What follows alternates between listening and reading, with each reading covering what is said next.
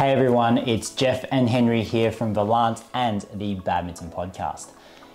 This is episode one of On the Edge of Your Seat, a series where we look at the most exciting players and pairs to watch in each category and pick our favourites. These are the players that keep us on the edge of our seats and we always look forward to watching.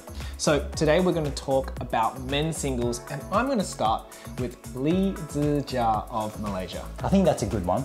Yeah. He's always so explosive. He's got huge smashes. He thunders down and backhand smash. So mm. everyone loves to watch a backhand smash, right? Yeah, and I think like at the professional level, you kind of see this conventional standard of play, but then you get someone like Zii Jia who's so unorthodox in mm. some of his shots where Yeah. it's like he whips it all the way around the back and, it's like, what is that? His arm is just crazily going on weird angles that I don't think my shoulder even moves that way. Yeah. Yeah. It's crazy. It's just he's just such a dynamic player. Mm. Yeah, and even his footwork, it's a little bit different, right? It's not that smooth. kind of he's fast, but he kind of like fast. yeah, Yeah. It, it's weird. And then he plays his net shots. He's like hanging really big. And, Yeah, yeah. Yeah, and he, he- looks very intimidating when he does that as well. He's Yeah. just like covering the entire net.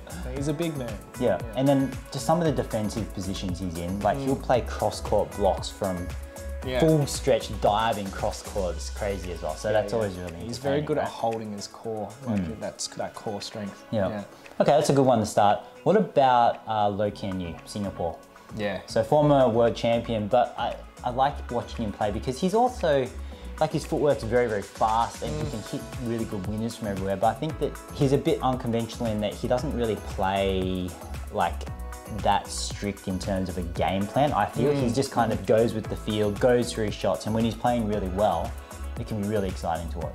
Yeah, I think it's a good one. I, I guess to your point, from a strategic perspective, he certainly has developed in the last year or so. Mm. Yeah. Uh, but you tend to find that he has this sort of one gear, one track mindset yeah. a lot of the time, and Yeah. that's what makes it so exciting because he's Yeah. just like going hard and fast all of a sudden, just Yeah. out of nowhere. Yeah. Yeah. I remember talking to some of the top European singles players when I was over there for a training camp, and they were actually saying, We're really glad that he doesn't do the analytics too much. Yeah. Because they'll be like, they were saying, we'd be in a lot of trouble if he went down to the granular level and did something more analytical. But I feel Yeah. that that's quite tricky for him to do because of his style. He's very natural, Yeah, generally. yeah, exactly. It's it's kind of whatever's on his mind, he's just doing Just doing it. at the time. Yeah, yeah, So maybe it would actually make him worse if he actually went. Yeah, maybe too that pathway. restricted. He'll be too Yeah. restricted and can't play his free, can't play free. Yeah, Yeah. exactly.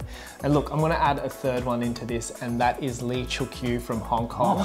Yes, from Hong Kong. That, that, that's homegrown, yeah, Homegrown, because yeah. you're a Hong Kong background. I think is there a bit of bit of bias there? there is probably a little bit of bias there, but what I like about Cheuk Yiu is that he is so fast, so aggressive, and, and also emotional. I think he, it ties into that overall experience Yeah, when you do spectator watch him. experience. Yeah, yeah, yeah. exactly. Mm. He can get pretty fiery, and he's yeah he smashes everything. Yeah. like he can just move around to anything and smash it. So yeah, Yeah, it's pretty it's just a fun to watch. Fast, um, fast-paced game. Always exciting, right? Yeah, exactly. We are leaving out someone who's dominating the times right now, and we are, we are, yes. So we're leaving out Viktor Axelsen, Hmm. and then more recently um, Kunlavut uh, yes, yeah, yes. so I think they're good, but would they fall in the top three? I wouldn't put them in the top three. I'll, I'll speak to Axelsen specifically. Obviously, world Yeah. number one, great player, fantastic Olympic champion. He's very tall. He's he, he kind of gets to things very easily. It's almost like there's not as much excitement. Obviously, he's an amazing player, Mm-hmm. but it just doesn't excite me all that much when I'm watching him. Yeah, yeah.